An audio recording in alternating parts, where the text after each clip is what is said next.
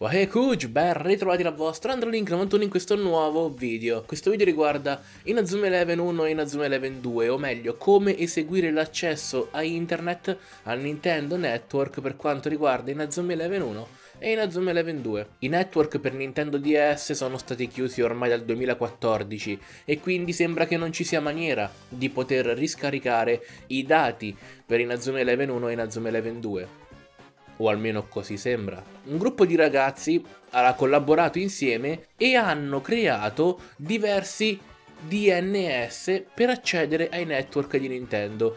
Quindi, come si fa per accedere ai dati per poterli scaricare? Molto semplice, andiamo a vedere. Come vedete io avendo un gestore telefonico Team devo accedere alla mia pagina di gestione del modem per quanto riguarda Team e ovviamente ha un indirizzo specifico per accedervi. Se voi avete Team è il classico 192.168.1.1 che sarebbe appunto il DNS di accesso alla pagina di, del modem di Team, oppure se non sapete qual è perché non avete Team, basta che cerchiate sul retro del vostro modem oppure sul libretto di istruzioni e troverete l'indirizzo al quale accedere per i dati del vostro modem. A questo punto cosa si fa? I modem sono molto simili tra loro e questa operazione, ragazzi, è senza rischi, senza problemi, Basta solo un po' di accortezza quando poi dovete appunto risistemare tutto, ma non vi preoccupate, è molto semplice. Ci tengo però a dire che ho fatto svariati tentativi dal mio telefono per provare ad accedere appunto con l'hotspot di un telefono cellulare, ma non so se è perché è un modello troppo recente e quindi non riesco neanche con il 4G, quindi con la rete mobile, ad accedere né col 4G né col 3G ai servizi per Nintendo DS. Attenzione, è uscito fuori che se riuscite a connettervi con l'hotspot del vostro telefono, potrete comunque eseguire l'operazione che andremo a fare sul nostro Nintendo DS o 3DS e scaricare comunque i dati. Però penso che quasi tutti abbiano un modem a casa, il 90% di chi ha una rete internet ha un modem a casa. Quindi per cominciare andiamo su wifi. Questo è Team, quindi se avete anche voi Team basta che copiate pari pari quello che faccio. Scendiamo un pochino su informazioni generali e abbiamo modalità di cifratura. Questa qui ovviamente è la mia password ma la oscuro perché non si sa mai.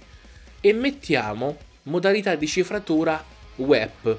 A questo punto mettendo web si cambia anche la password, la chiave di cifratura. Una volta messa la chiave web cliccate ok per salvare appunto l'impostazione e andiamo su Nintendo DS o 3DS. Andiamo su impostazioni della console, quelle con la chiave inglese. Impostazioni internet, connessioni Nintendo DS, configura le tue impostazioni e andiamo su ok. Impostazioni Nintendo Wi-Fi Connection, io ne ho già una pronta perché ho fatto diverse prove per vedere appunto se funzionava, quindi la cancello e la faccio con voi. Vai, sceglietene una, non importa quale, e cliccate A. Ricerca access point oppure configurazione manuale. Andiamo con ricerca access point. A me trovo appunto il mio modem. Clicco ok, inserisci chiave web. A questo punto cerchiamo appunto la nostra chiave web che abbiamo visto prima qual è il codice e lo immettiamo. Fa una prova di connessione, se abbiamo inserito la password correttamente, perfetto connessione riuscita. Ora torniamo sempre sulle impostazioni, cliccate su quella che avete appunto programmato, scendiamo e andiamo su ottieni DNS automaticamente.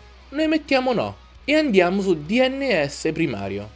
A questo punto io ho salvato un DNS che funziona con i giochi di Inazuma Eleven, perché ce ne sono altri che non funzionano con Inazuma Eleven, ce ne sono diversi che non funzionano, mentre questo è l'unico che sembra funzionare. Quindi 172, 104, 88, 237, 237 e via.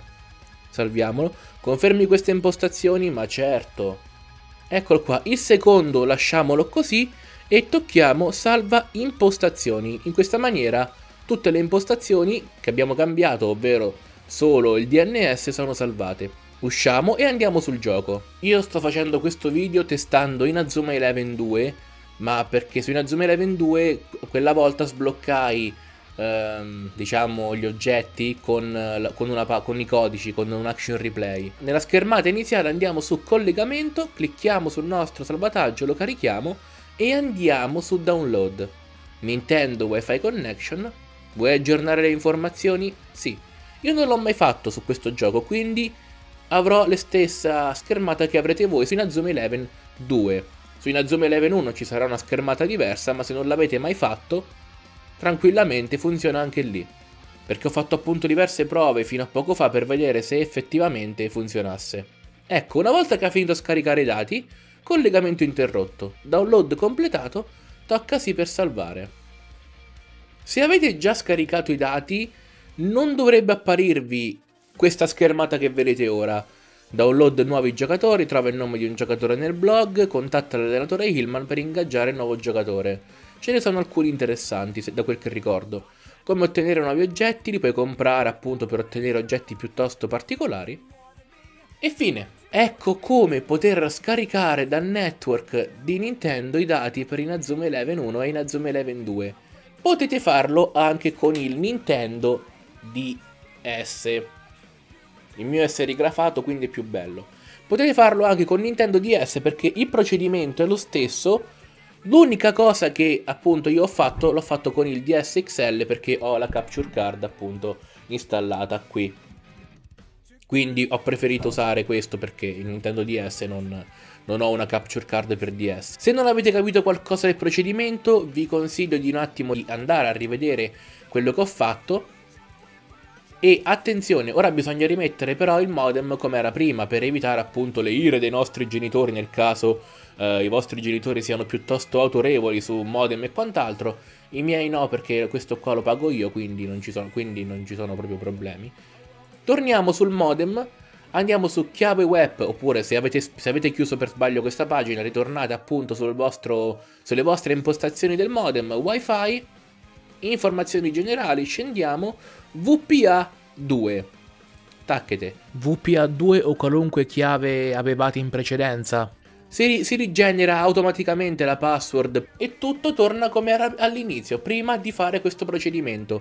Se lo volete fare anche con i giochi giapponesi di Inazuma Eleven, perché Inazuma Eleven 3 giapponese è per, la, è per il Nintendo DS. Funziona anche se giocate da R4. Da emulatori per computer e cellulari, eh, non proprio. Poi se noi andiamo appunto nel blog a vedere se effettivamente ha funzionato, tutti quanti i nomi dei personaggi che abbiamo scaricato. Hai scaricato nuovi giocatori e abbiamo scaricato un bel po' di pagine di giocatori, ragazzi. Alcuni sono forti, altri un po' meno, ma tutti quanti possono trovare utilizzo nel gioco. Poi hai scaricato nuovi oggetti, doppio trampolino in Azuma, Tripegaso, Neo Galaxy, mano di luce tripla, chiave magazzino segreto e chiave del faro. Questa serve per andare a reclutare Stoutberg nel, nel faro a Okinawa. Ad ogni modo, Kuj, questo video termina qui. Io spero che vi abbia aiutato un minimo a risolvere questo problema e e come sempre vi ricordo che in descrizione c'è il link per Instagram, se ancora non siete iscritti al canale iscrivetevi a noi, ci vediamo come sempre al prossimo video. Bye bye!